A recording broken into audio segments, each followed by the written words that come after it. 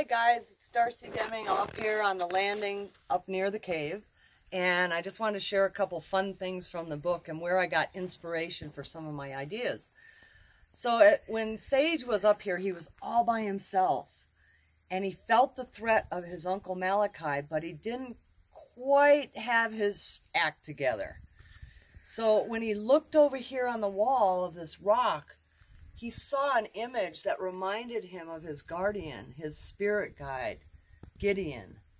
And then he looked way over here on the other side, down at the very base of the mountain. And he saw an image in the rocks with the shadows and everything that looked very much like a bear claw, which he thought was really kind of cool. And then he looked up higher on the rock and there was a brown rock with a black spot in it that started to come to life. And it was his uncle. It was his uncle Malachi coming out of the rock in the form of a black coyote to attack him.